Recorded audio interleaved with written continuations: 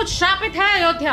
अपने शासकों से अनबन को लेकर भरी पड़ी हैं इसकी लोक कथाएँ। भारतीय लोकतंत्र में एक अनावश्यक बुराई रही है कि जिस क्षेत्र से सत्ताधारी पार्टी चुनाव जीतती है, वहीं विकास कार्य होता है। वहीं रौनक रहती है। जहाँ से सत्ता पक्ष के प्रतिनिधि नहीं चुने जाते हैं, वहाँ की सड़कें भी वीरान हो जाती हैं। यहाँ तक उन क्षेत्रों को पर्याप्त रोशनी के लिए बिजली भी नहीं मिलती। प्रोजेक्ट्स ठप पड़ जाते हैं, नई योजनाएँ तो दूर की कौड़ी हो जाती हैं। क्या कुछ ऐसा ही एक बार फिर से अयोध्या के साथ होने वाला है? जब से केंद्र और राज्य में सत्ताधारी पार्टी, भारतीय जनता पार्टी को संसदीय चुनावों में यहाँ पराजय मिली है, सोशल मीडिया पर लोग अयोध्या के श्रापित होने की बात करने लगे। उन्हें इस बात का डर है कि एक बार फिर अयोध्या पर सीता माता के श्राप की छाया तो नहीं पड़ गई है। एक बार फिर टीवी चैनल से बात करते हुए अयोध्या के राजा के रूप में जाने जाने वाले विमलेंद्र मोहन प्रताप मिश्रा ने कहा था कि स्थानीय किमदंती के मुताबिक जब भगवान राम ने अफवाहों की वजह से माता सीता को अयोध्या से बाहर निकाला था तो उन्होंने श्राप दिया था।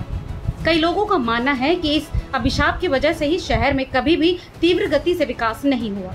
जिस अयोध्या में कुछ साल पहले तक एक भी बढ़िया होटल नहीं था, वहाँ अब फाइव स्टार होटल बनने की परमिशन मांगने वालों की लाइन लगी है अयोध्या में फाइव स्टार होटल बनाने की अनुमति मांगने के लिए प्रशासन को सौ से ज़्यादा आवेदन मिल चुके हैं। पौराणिक कथाओं की माने तो अयोध्या को किसी ने बसाया नहीं था। इस शहर ने अपने आप ही आकार ले लिया और साकेत नाम की इसकी पहचान बन गई। भारत में सात धार्मिक शहरों की चर्चा होती है, जिसमें हर शहर की उत्पत्ति की कोई न कोई कहानी है। पर अयोध्या शहर कैसे बना, इसकी कोई कहानी नहीं। जैसे काशी के बारे में कहा जाता है कि ये शंकर भगवान के धनुष पर स्थित है। द्वारका के बारे में कहा जाता है कि इसे कृष्ण ने बसाया, पर अयोध्या की कोई किंवदंती भी नहीं। राम के पहले उनकी कई पुश्तों ने यहाँ पर राज किया। कालिदास लिखते हैं कि राजा दशरथ के समय तक अवधपुरी समृद्ध, सुंदर और अच्छी तरह से किलेबंद शहर था।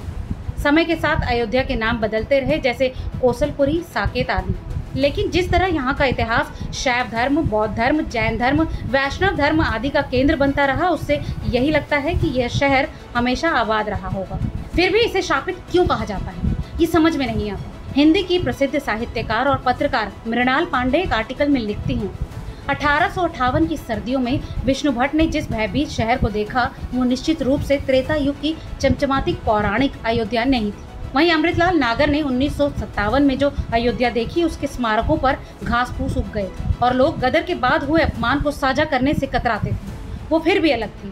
वाल्मीकि से लेकर भवभूति और विद्यापति तक के कवियों और लोकगीतों के अनाम रचनाकारों ने राम राज्य की न्याय व्यवस्था पर सवाल उठाए हैं, जिसने एक निर्दोष महिला सीता को दंडित किया।